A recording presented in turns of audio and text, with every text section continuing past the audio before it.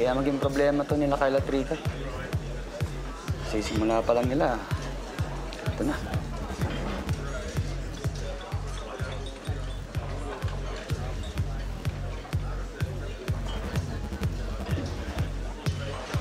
Sige lang, wala pa yung order ko. Mamaya pa yun sa akin.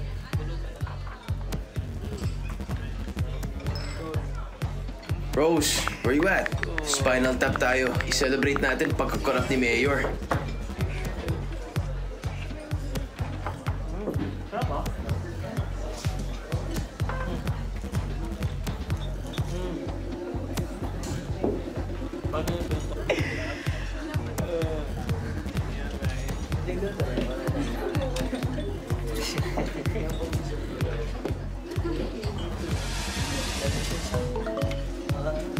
Pass muna ako, oh, bro.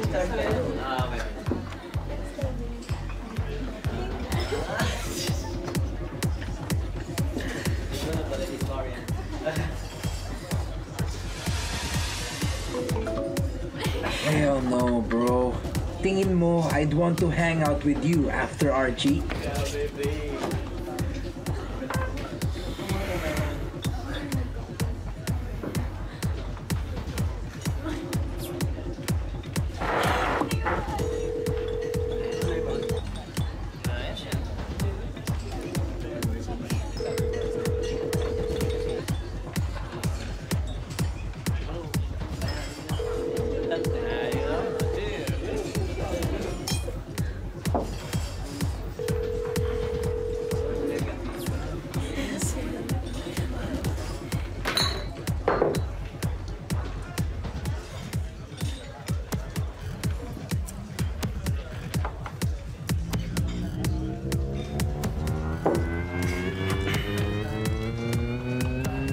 guys, sorry to disturb.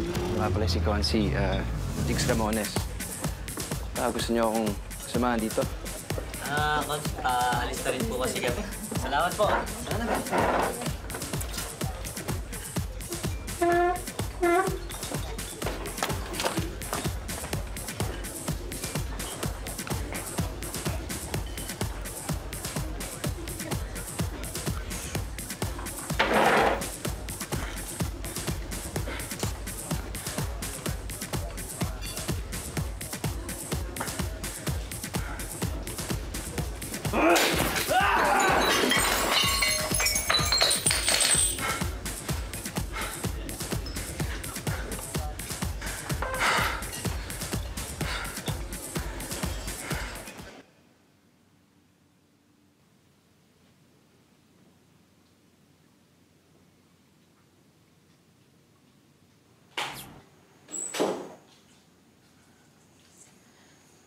Kamusta kayo ni Kyle?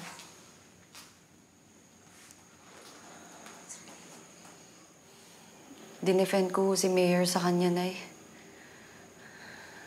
Nung sinabi sa akin ni Mayor na hindi totoo lahat ng issue na binabato sa kanya, naniwala ho ako, Nay.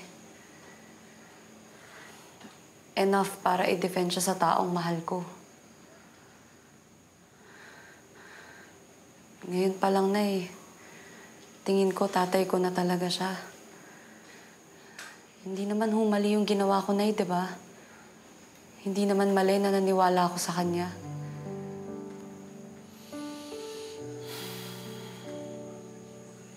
Akala mo, nun pa lang, dalawa na ang pagkatao niya. Mayor, anak ni Alberto Ramones, at si Troy, yung minahal ko. Yung laging gagawin ng tama. Yung ngayon na ginagawa ang lahat para maitama ang sitwasyon mo. At naniniwala ako na hanggang ngayon, yun pa rin yung pagkataong nangingibabaw sa kanya.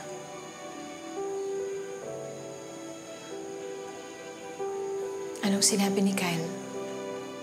Sabi ho niya, kakausapin daw niya si Mayor.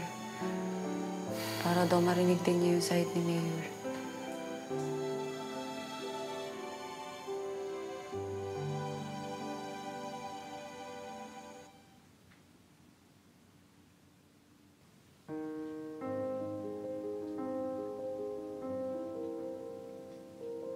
Pwede natin kausapin ulit si Mayor para mas malinawan tayo sa lahat.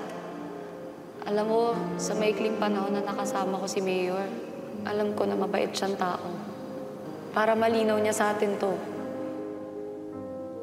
I'm also hoping for your discretion. Sana walang makalabas tungkol sa nangyari.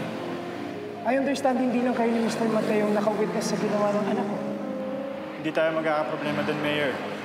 Kapagkatiwalaan naman yung team ko eh. I will have my people come over tomorrow. Just have them sign a non-disclosure agreement. It's no big deal.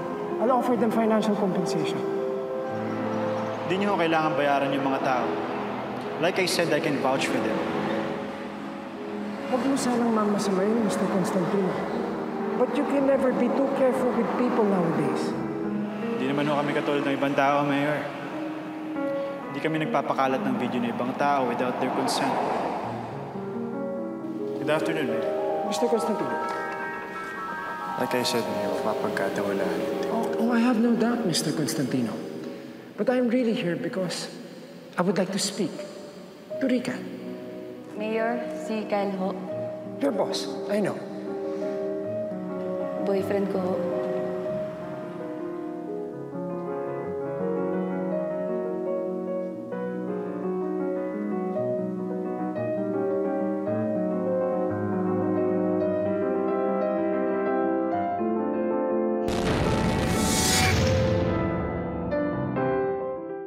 Kapag na-miss mo, pwedeng balikan. Pwedeng panoorin ang videos at playlists na gusto mo.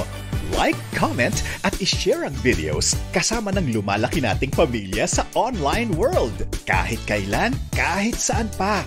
Forever tayong kapamilya. Kapamilya Online Live.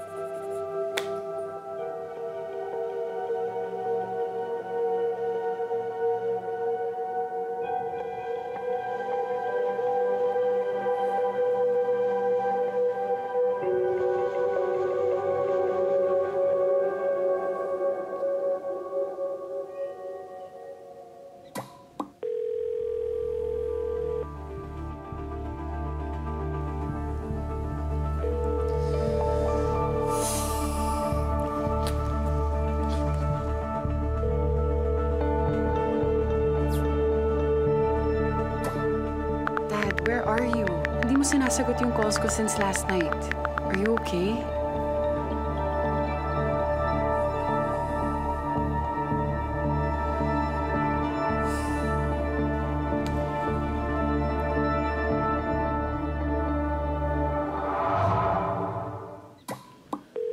Ah, Miss Rika, ang aga niyo po ah. Good morning po. Good morning.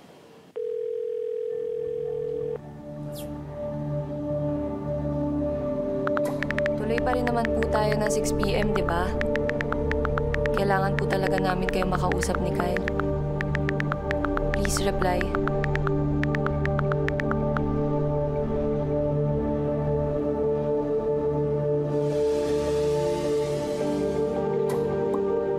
Rika, resched muna tayo kay Mayor.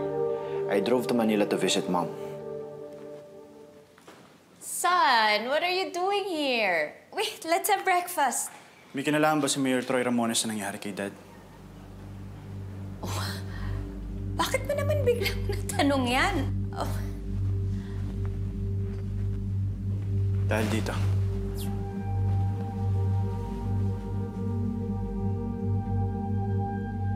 son, wag mo nang balikan to. This drove your father to obsession. Wala na tong kinalaman sa buhay mo. Just leave it that I way. can't avoid it, Mom.